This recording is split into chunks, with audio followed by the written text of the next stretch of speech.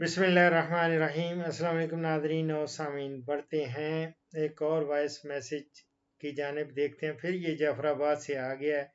ये लगता है कि उसको इकनॉलेजमेंट ही होती, होगी।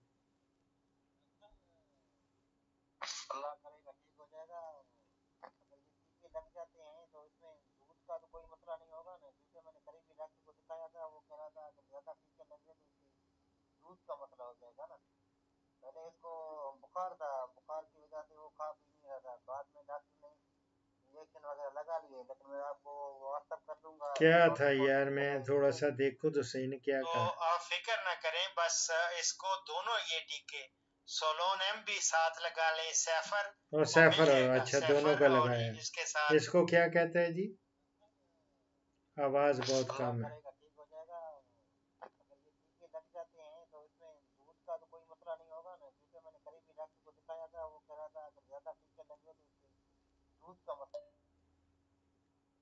और बाबा, दूध का कोई मसला नहीं होगा। उसका आपने कहा वो सांस वो बड़े, जो जिस तरह ले रही है, वो ज़्यादा इम्पोर्टेंट है, उसका रोकना।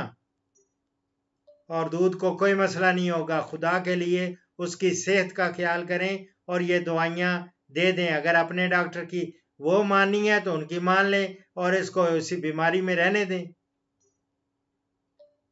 मैं तो ये चाहता हूँ ना कि उसकी जो सांस बड़ी मुश्किल से ले रही है और खड़खड़ कर रही है, आपने बताया? तो वो, मैं उसका इलाज बताया आपको।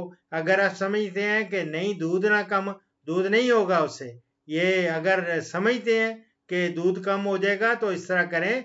दो लीटर दूध में आधा पाव सफ़ेद ज़ीरा और एक पाव लहसुन और एक चटाक मीठा सोडा।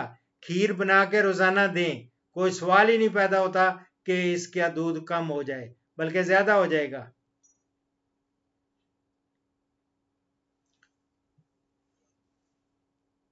और जाफराबाद को सलाम और दुआओं में याद रखें, फीमान